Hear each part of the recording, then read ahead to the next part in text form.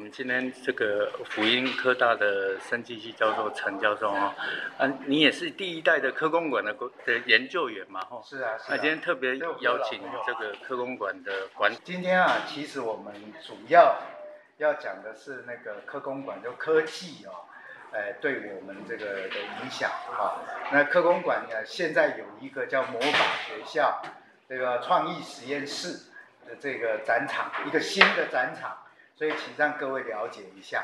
再加上呢，这个教育部哈，对我们学校，不是我们学校，全国的学校有一个要求，就希望我们要有这个服务学习这一方面的课程啊。啊，所以呢，馆长啊，呃，跟我讲过，这个服务是所有我们做的事情啊，包括科技里面的灵魂。